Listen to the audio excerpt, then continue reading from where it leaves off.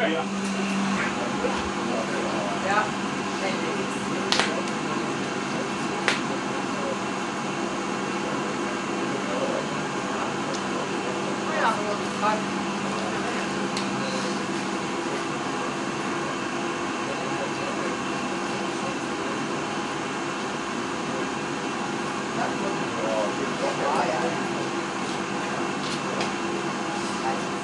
skal eh, fembøringen Nordlendingen sjøsettes på gammelmåten, dvs. Si med oppsang og ryggløft. Med ryggløft menes det at da må vi ha minst 30 personer på hver side av båten, 60 stykker til sammen, som eh, spenner ryggen til, griper med fingrene under sjuen. og når jeg da står oppe i båten og synger, så løfter de samtidig på kommando. Hvis båten er så tung som de sier, rundt 6 tonn, så betyr det at hver mann må løfte rundt 100 kilo. Men det er utrolig at når man da først eh, står i posisjon og løfter, så føler man at nå løfter alle de andre hundene til sjøl. Det kjennes ikke tungt ut. Og man eh, beveger båten bit for bit til oppsagn, så man har hele tiden kontroll på hvordan den beveger seg.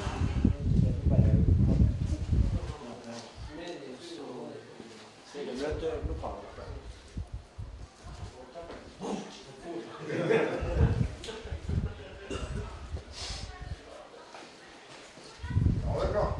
Jeg har jo eh, Jeg kan eh,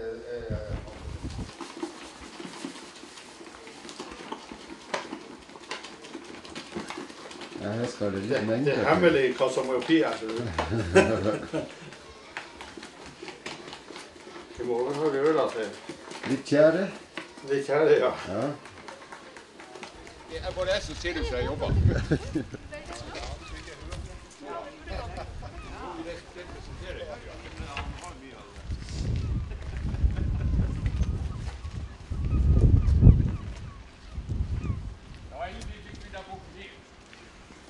stilt seg her litt eh, fremstått foran brannskapet på Så må vi telle opp om vi har folk nå. Vi bør være i plass mellom 50 og 60 for å få det her til. Jeg vet ikke. Takk. Hold dere på, kar, og legg man på hver side. Ta Båten skal med sjøen, nå skal den gli, så støtter vi og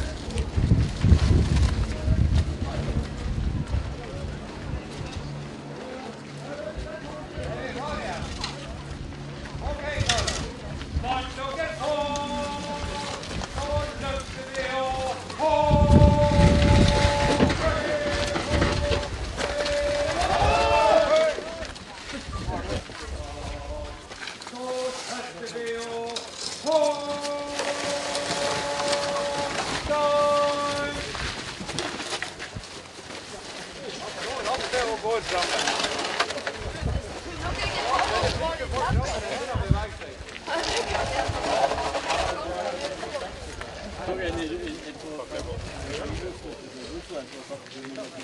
du er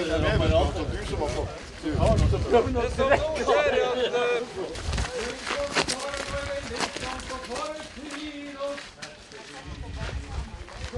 Herre ved å få høy.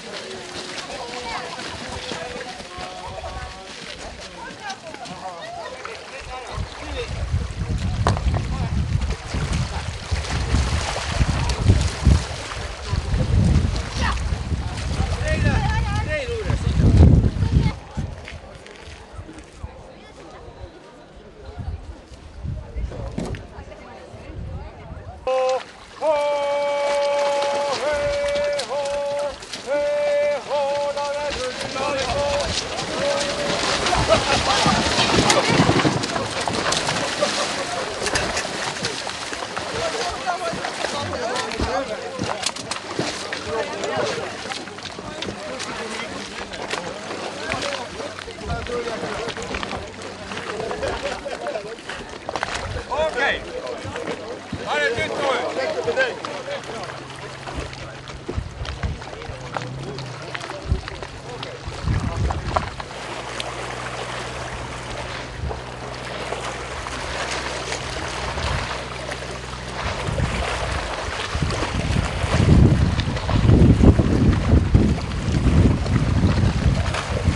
Med jobben de har gjort. Ja, jeg syns jo det var en kjempejobb de gjorde. Ja.